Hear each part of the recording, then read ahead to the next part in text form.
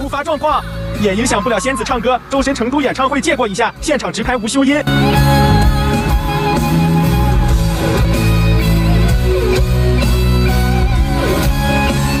让我大醉一场，殿堂之上被现实两三掌。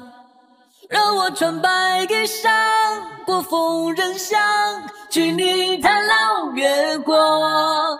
望大人们见谅，体贴的话，我懂也不想装。世人寻黄金香，我找月亮，何必同往？花谢过，路结过，你是你，我是我。花谢过，路结过，你是你，我是我。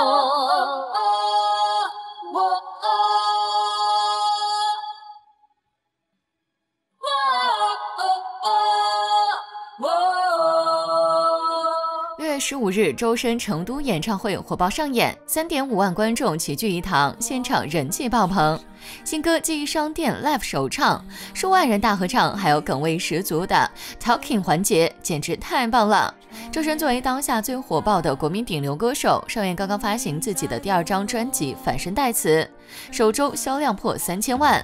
正在进行的十周年九点二九赫兹全国体育场巡演已经结束，上海梅奔、深圳大运中心体育场近十万人共度了美好时光。看过周深演唱会的人都知道，除了唱功强悍，周深经常把演唱会开成脱口秀大会。这波成都演唱会现场，周深又爆梗了。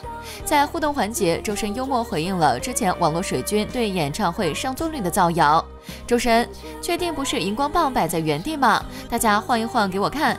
还有一位被选中互动的大哥喊周深宝贝，又迫使周深喊出了自己的名言：保你个头。在答笑环节，现场观众为周深工作室的小伙伴送上了欢呼，也因为票太难抢，对票务代理方大喊倒闭。周深无奈地说：“你们爱和不爱好明显哦，你们礼貌吗？”但在点歌环节，周深竟然被十三岁小孩姐拿捏了，哈哈。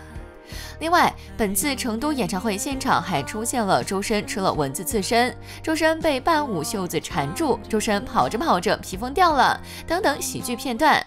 不得不说，这位小朋友，这么近，最远的距离是我没有发现你在我身边。小朋友你好，你好，周深。我们要怎么称呼你啊？叫我生米吧。年纪轻轻，套路不少啊。你的小名应该怎么称呼你？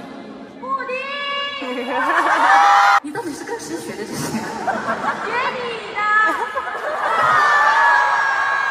行，你赢了。那这上面的歌，哎，应该说你你现在几岁了？十三岁。十三岁，你几岁开始听我的歌的？五岁吧。那可是二十多年前。那你真的也是听我的歌长大的？对。你第一次听到的我的歌是什么歌？大雨。哦。来唱两句。我的演唱会，我还治不了你了！不要捂嘴，唱。哎，你是你有测过你的那个爱人还是艺人吗？有爱，你先爱。那唱吧，我不帮你了。来。我都想听。你是哪里的孩子？这么的聪明。武汉的哦，叔叔已经帮你找了那么多台阶下了，你再不点出一首，叔叔他是很难做呀。你来选一首。九。你真的不告诉我一下你的小名怎么称呼你？不告诉我。我 觉得非常好，都给我气呛着。我们在外面要这样，学我们这位某同学一样，好好的保护好自己的隐私，好吗？好。但是就。在昨天彩排的时候，我有吃到一样东西，很多外地人一定都没吃过，甚至是本地人都几乎应该也没有人吃过的一个非常好吃的成都小吃。你们猜一下是什么？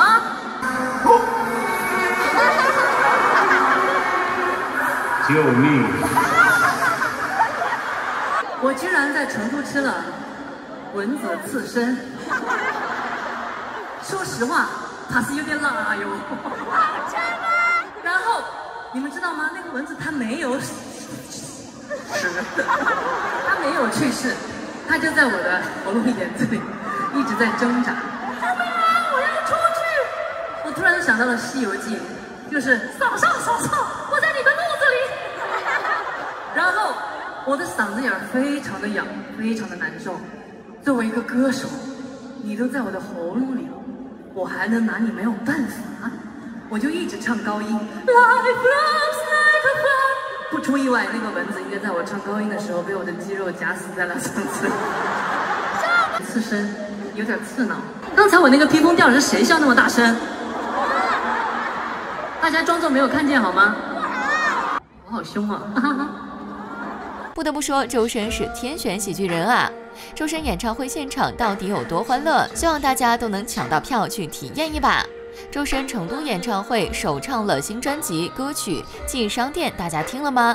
蓝色星光交相辉映，倒映在衣服上，浪漫的气氛弥漫在每一处梦境。现场的效果比耳机里听到的情感浓度更强。然后在演唱会结束后的零点，又解锁了新专辑下篇新型主打曲《嗨》。我想在风相爱，怎样转身你都在眼前美丽，像素都在摇摆，如化成一片花。周深曾经预告说这是一首小甜歌，看完之后发现和常见的甜歌不同，有种复古的带点留声机音质的悠扬，以抒情复古风再次展现周深的更多层面。另外，周深在演唱会上感谢了孙楠在歌手节目中演唱了自己的原唱歌曲《人世》，并取得了第一名。周深说：“非常尊敬喜欢的歌手翻唱自己的作品是我的荣幸，所以非常非常感谢南哥，让这首歌被更多的人听到。”孙楠对周深的欣赏和喜欢，在《生生不息》中已经得到了很好的体现。孙楠老师说：“周深不管在哪个时代，他都会是最好的歌手，特别真诚的周深。”而孙楠也曾对周深给予了超高的评价，这就是实力歌手之间的惺惺相惜吧。昨天南哥有在歌手上演唱，说实话，我非常的震惊和非常的感谢，因为南哥孙楠老师是我从小听到大的歌手，而且在我心中是一个非常非常尊重的前辈。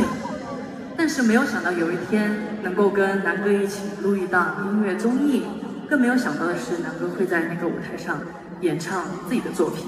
我觉得被自己非常尊敬，然后非常喜欢的一位歌手翻唱自己的作品，是我的荣幸，所以非常非常感谢南哥。然后还有更更加让我感动的一个瞬间，就是南哥他唱完之后给我发微信，他还说：“深深那首歌非常好听。”然后甚至南哥这样的前辈还会觉得自己有一些部分可能像自己没有发挥的那样那么的出色，或者是跟自己想象中的处理不太一样。但是我再震惊的是，像这样一位非常前辈，还前辈的老师还在不停的去追求自己更好的那个自己。我相信这个应该是南哥的一个执念，然后才让他在大家每次面前一亮嗓的时候，大家都觉得哇，不愧是孙。所以再次非常非常感谢南哥，让这首歌被大家听到，让更多的人被大家，让这首歌被更多的人听到。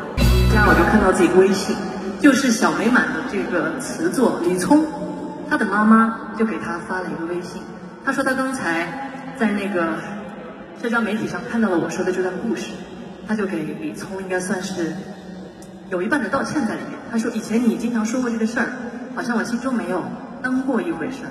也许当时的你真的是不开心了吧？然后那一下我就觉得好温暖。然后李聪跟我说的最后一句话就是：我心中的那一小块好像一下子都长好。然后听到这样一个回复之后，我自己心中缺失的那一块也一下就全部变好。我觉得这样的小美满都是你们送给我的。也希望在也许在无论任何时候，你都觉得自己在淋雨，但是都要勇敢的相信真心真爱。也许你现在还在淋雨，但是请勇敢相信，那个爱你的那一把伞，它可能会迟到，但是它一定会到。但是所有都要基于你好好照顾好你自己。